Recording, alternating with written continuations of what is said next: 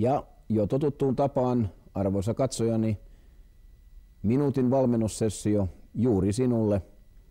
Ja tänään tässä sessiossa puhun sinulle joukkuepelistä, tiimitoiminnan lainalaisuuksista.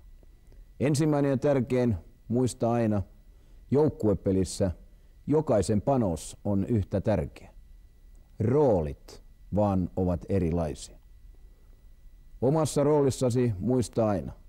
Kysy itseltäsi, ymmärränkö mitä olen tekemässä. Kun olen sen selvittänyt, keskity oleelliseen. Ja ennen kaikkea muista yksinkertainen joukkuepelin perustotuus, auta muita ja mitä tapahtuu? Autat itseesi. Näillä joukkuetoiminnan peruslainalaisuuksilla toivotan sinulle arvoisa katsojani oikein hyvää viikonloppua ja näkemisiin taas ensi lauantaina.